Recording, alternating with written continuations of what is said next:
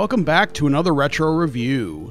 Sega released Beyond Oasis in 1995 for the Genesis, an action adventure game played in the overhead perspective.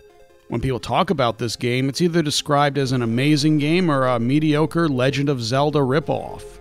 I took the time to play through this game, and I feel it falls in neither of those two categories, but ends up being an average game that has a lot of potential.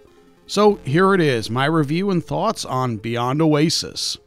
Released under the title Story of Thor in Japan in December of 94, it would be renamed Beyond Oasis when released in North America in the spring of 95. The game was developed by Ancient, a development studio founded by video game music legend Yuzo Koshiro. Prior to this release, Ancient worked on Sonic the Hedgehog for the Master System, Streets of Rage 2 and 3, ActRaiser 2, and Robotrek. This would be their first adventure style game, and Yuzo Koshiro would produce this game in addition to composing the music. The game would be successful enough to warrant a second game called Legend of Oasis and was released two years later on the Saturn. This would be a prequel to Beyond Oasis. There's another Sega RPG for the Game Gear called Defender of Oasis, but that game has no relation to this Oasis series. Sadly, like many games that tried to find success on the Saturn, we'd never see another game in the series. Because I had some pretty mixed feelings about this game, I'm going to divide up the review into things I liked and things that I didn't like. Let's start with what I liked about the game. The graphics are pretty good for the Genesis. Sprites are incredibly detailed and also quite large. Also, the use of color is something you rarely see on the Genesis.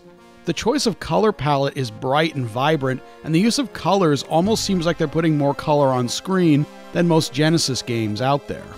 There's not much use of special effects, unfortunately, and only a little bit of parallax scrolling, mostly in the mountainous areas.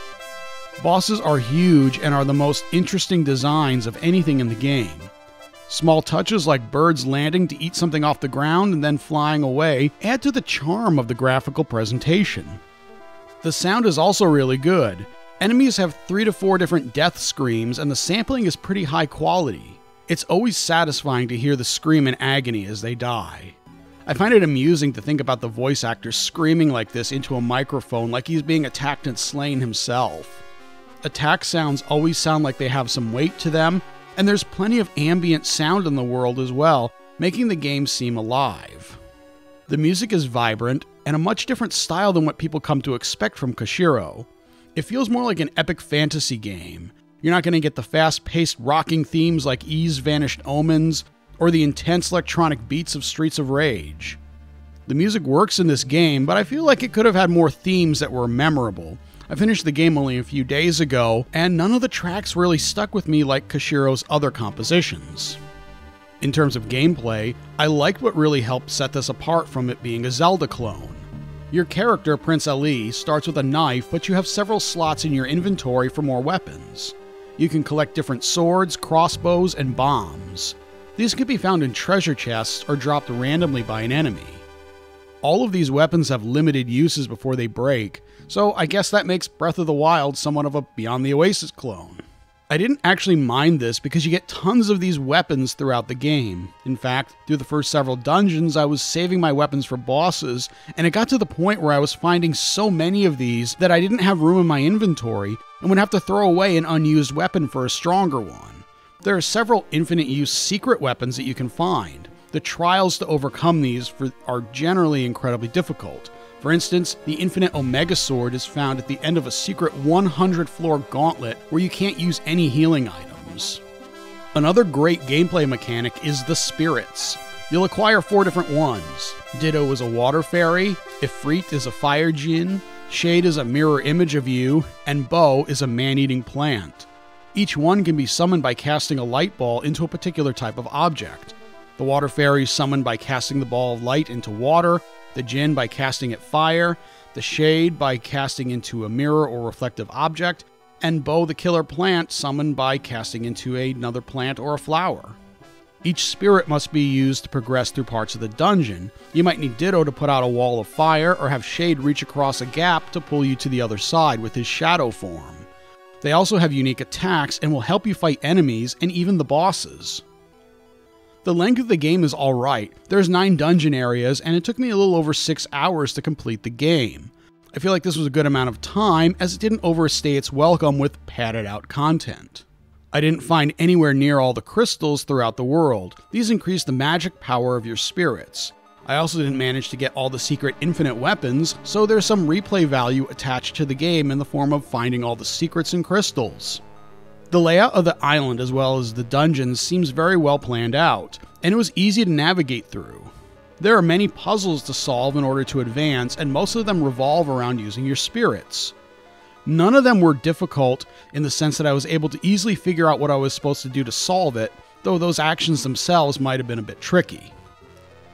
The boss fights were the most fun part of the game. I really enjoyed figuring out the patterns, and each boss did something unique. At half health, they start new patterns so you don't end up repeating the same actions over and over again, like some games with very predictable boss fights. The last thing that I really liked were the cutscenes. There's only one at the beginning and one at the end, but they're very well animated with beautiful screen art. Definitely some of the better artwork for the Sega Genesis. Now let's talk about the things that I didn't like about this game, starting with the story. It starts out quite promising, but declines into incredible mediocrity. You play as Prince Ali of the island of Oasis. You go on treasure hunting adventures, and on your last trip, you find a golden armlet. You put it on, and suddenly you're bombarded with, with knowledge. There was a battle long ago between the bearer of the gold armlet and the silver armlet. The silver armlet causes chaos and destruction, while the gold summons spirits of nature. The evil was destroyed, and the armlet sealed away, but now there's a new bearer of the silver armlet, and now you have to save the world from chaos and destruction. It's about as basic as can be. You're the good guy, and you must defeat the evil guy. No reason is given to why the evil force wants to destroy the world. They're just out to cause mayhem because they're evil. This is a, there is a plot twist at the end, but it's not enough to save the story from its blandness. You simply go from location to location in search of the spirits to help you defeat the evil, because they're evil. On top of that, there aren't many people in this world to talk to. There's a castle with your father, the nameless king, and your sister, who also doesn't have a name some generic guards, and a town of around 10 people who also have no identity.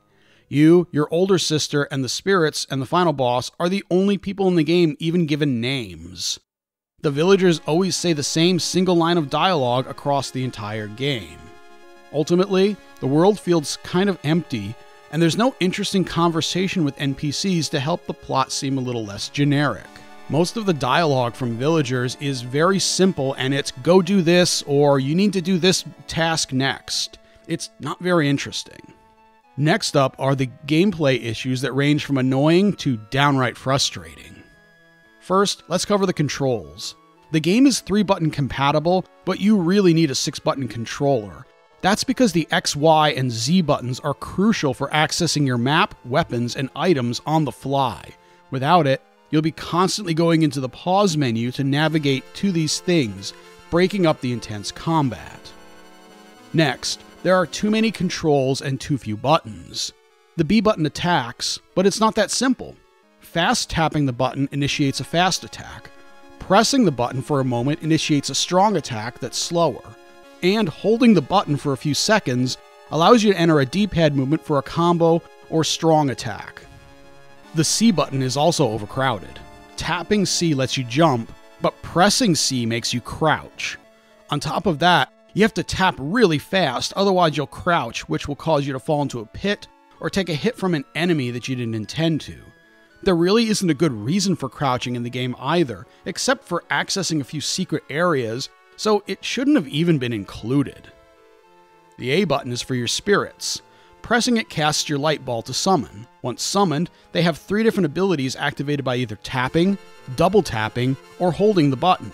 That's 12 different abilities total on a single button, and you really have to know which does what, since they can suck up your magic meter really, really quick. Since all the face buttons are used, the only way to run, which you'll need to do a lot, is to double tap the D pad. I'll admit that all these things you can do in the game are quite ambitious, but it's just too much for three buttons, and too often you'll end up doing something you didn't intend on accident. Another annoyance is the hit detection. You have a giant hitbox, yet enemy hitboxes are very small and require very precise positioning.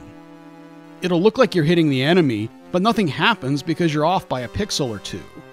I feel like if the enemy can hit you with a close range attack while in physical contact with you, you should be able to hit them from that same position, especially when your weapon passes right over their sprite, but you're a pixel away from actually getting the hit.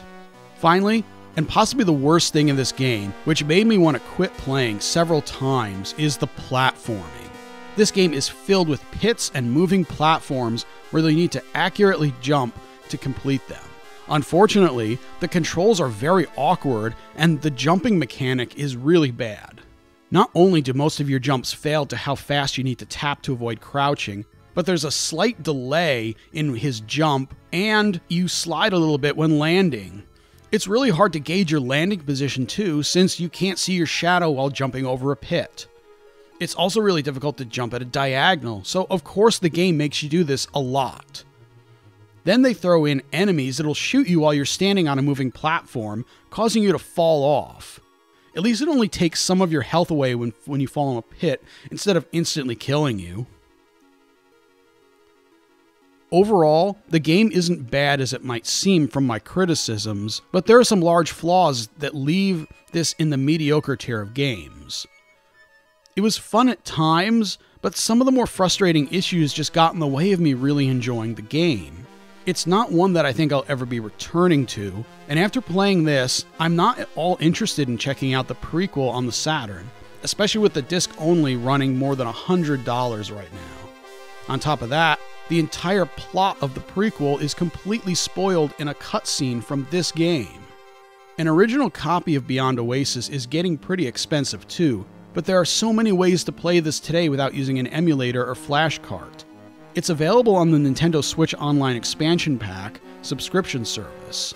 It's also in all of the Sega Genesis compilations, starting with the Sonic's Ultimate Genesis collection for the PS3 and Xbox 360. Finally, it's also available on Steam, either part of the Genesis collection or individually for 99 cents. If you like overhead action adventure games, it's worth at least checking out once. If you're on the fence about these type of games, this one isn't going to win you over. I'd recommend much better ones like any of the 2D Legend of Zelda games, Golden Axe Warrior for the Master System, or 3D Dot Game Heroes on the PS3. I'd love to hear what you think about this game in the comments, especially if you're in those groups that absolutely love this game or hate it for ripping off Zelda. Thanks a lot for watching, and I'll see you in the next video. Until then.